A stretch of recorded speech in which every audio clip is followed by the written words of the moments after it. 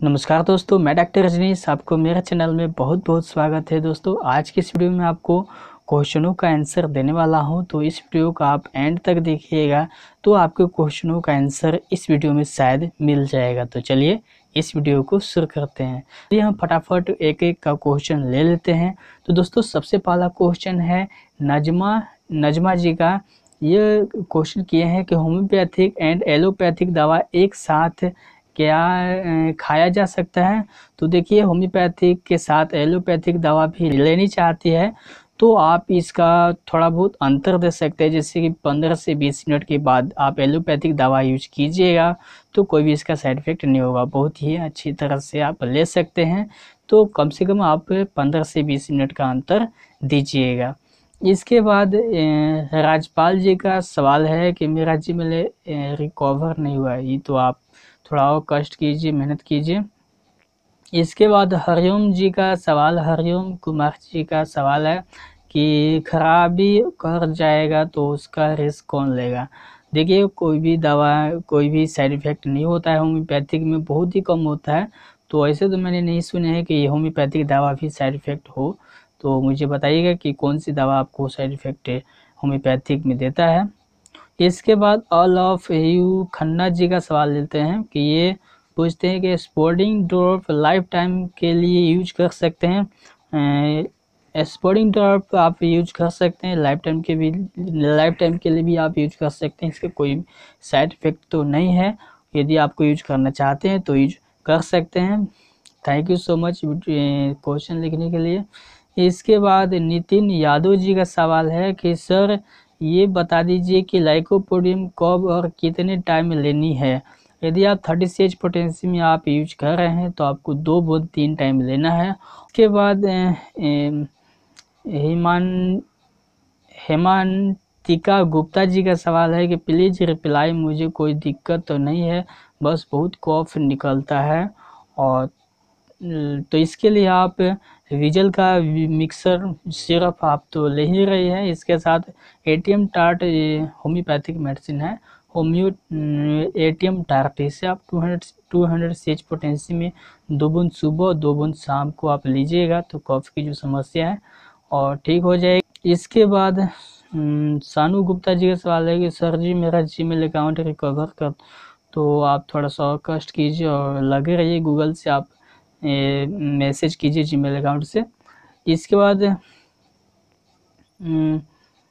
Small town girl जी का सवाल है कि पाँच मंथ का बेबी का दे सकते हैं नोरफा जेल। तो आप इसे, आप अढ़ाई एम एल दो दो दो टाइम आप दीजिएगा, अढ़ाई अढ़ाई अढ़ाई एम एल अढ़ाई एम एल सुबह सुबह में अढ़ाई एम एल शाम को आप दीजिएगा तो जो समस्या वो ठीक हो जाएगी। इसके बाद मिस्टर श्रवण कुमार जी का सवाल है कि, सर, डायरेक्ट जीप ले पाँच बूंद ले सकता हूँ।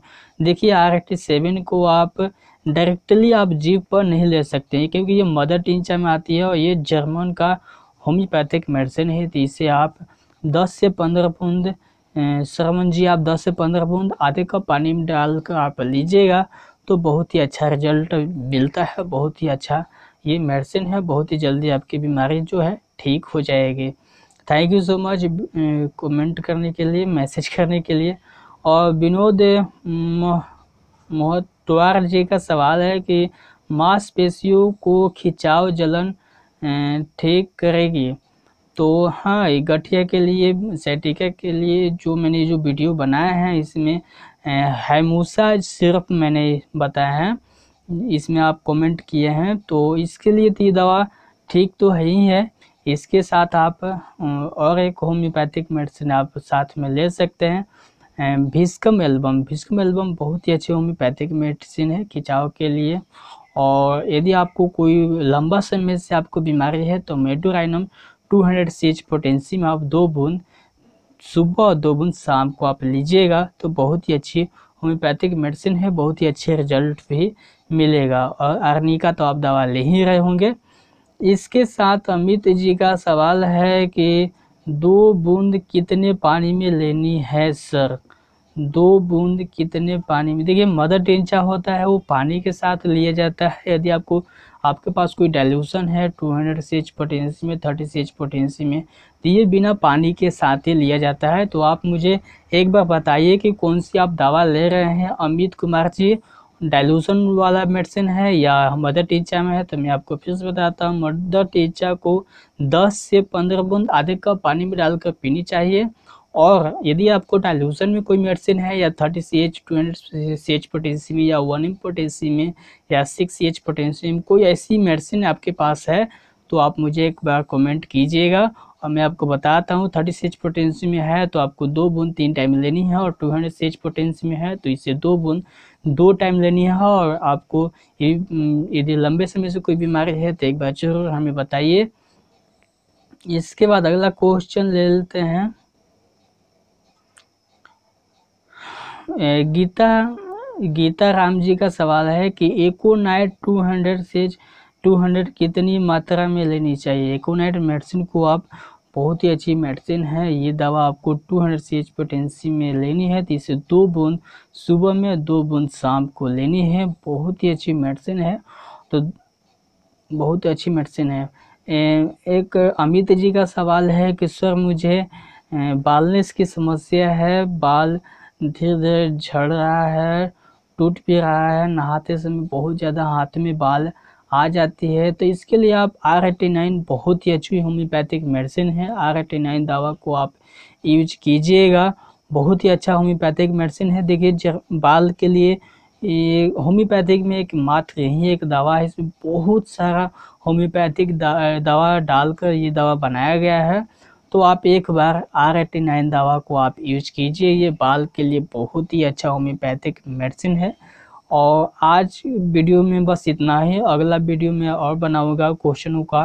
तो देखिए, क्वेश्चन तो बहुत सारा व्हाट्सएप पे आया भी है और कमेंट भी में भी आया तो सभी क्वेश्चनों का इस वीडियो में नहीं दे पाऊँगा, लंबा भी वीडियो हो जाएगा और कोई देख ही नहीं पाएगा। तो बस यही आठ मिनट और नौ मिनट का ये वीडियो है और अगला वीडियो में इसी, इतना ही टाइम का बनाऊँगा।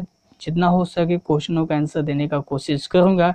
तो thank you so much video देखने के लिए। वीडियो को लाइक कीजिएगा चैनल को सब्सक्राइब कीजिएगा। और यदि आपको कोई भी क्वेश्चन है तो आप इस वीडियो के वीडियो के नीचे कमेंट आप कर सकते हैं, उसका आंसर देने का कोशिश। जय हिंद, जय भारत।